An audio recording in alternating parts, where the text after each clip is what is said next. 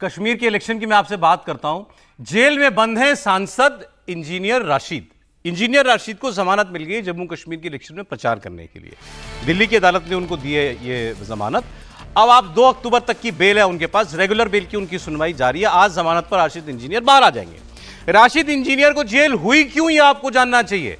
NIA का मुकदमा है इनके ऊपर। और एनआईए ने क्या मुकदमा लगाया है? Rashid use various public platforms to propagate the ideology of separatism and secessionism अलगाववाद की अलगाववाद की सारी विचारधारा को इन्होंने प्रेरित किया। इसके अलावा वो कह रहे हैं कि इनका जुड़ाव अन्य विभिन्न टेररिस्ट ऑर्गेनाइजेशंस के साथ था। टेरर फंडिंग में इन्वॉल्व टेरर फंडिंग इन्होंने की थी। यूनाइटेड जिहाद काउंसिल जो पीओके के अंदर है उसको ये लेजिटिमाइज करना चाहते थे। जो एंटी इंडिया मिलिटेंट ग्रुप है, उन सबको लेजिटमाइज करना चाहते थे, वो आपका सांसद बन गया था। अब वो प्रचार भी कर रहा है। ये जो कुछ राशिद इंजीनियर कर रहे थे ना, पहले हमारे देश में उसको बहुत ही वैचारिक, वैधानिक सपोर्ट था।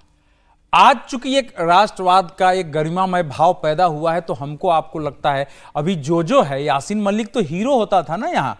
मीडिया में आने के बाद इंटरव्यू देता था, बीबीसी में इंटरव्यू देता था, नेताओं से मिलता था कि वो तो एक एक स्वतंत्रता संघर्ष सेनानी है, आज के युग का एक हीरो है।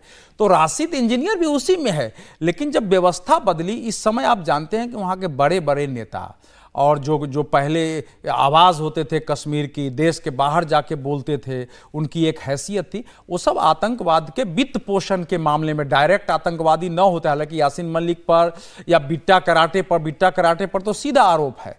तो वो सारे उसी में बंद है ये बड़े बड़े टेररिस्ट के आरोप में बंद हैं लेकिन अब कोर्ट इस समय चल रही है कोर्ट अब बीजेपी का मिली भगत है नहीं भगत है अलग बात है लेकिन जब अरविंद केजरीवाल जी को जमानत दिया है तो अरविंद केजरीवाल जी को चुनाव प्रचार के लिए तो टेरर फंडिंग में शामिल आदमी को जमानत हो जाएगी भाई आप आप समझिए कि टेरर फंडिंग उस पर साबित नहीं हुआ है साबित तो कुछ भी नहीं होता है तो लेकिन तो कहीं तो आप लाइन ड्रॉ करेंगे ना वही बात कर सुनिए मैं ये गा रहा हूँ कि ये जो एक मतलब यही आ, आ रहा है कि इस समय कश्मीर के चुनाव में क्या हो रहा है? हमारी जुडिशियरी भी किस दिशा में सोच रही है? जो इसके विरुद्ध में वकील पेश हुए थे उन्होंने क्या तर्क दिया था?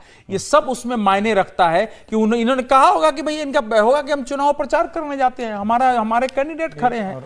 और उस, उसका उस रूप में अगर विरोध नहीं होगा कोर्ट में तो ये तो जाएगा। सर मैं एक, एक लाइन में जोड़ देता हूँ सर। एक लाइन में कि मुझे लगता है कि जो बेल हुए के खिलाफ राष्ट्रपति को दखल देना चाहिए। राष्ट्रपति को तत्काल इसकी बेल को रोक देना चाहिए।